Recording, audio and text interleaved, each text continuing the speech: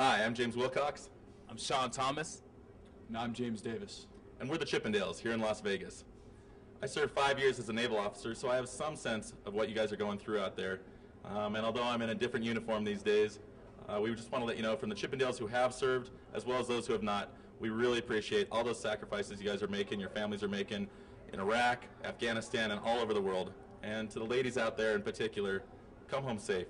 We have something special waiting for you.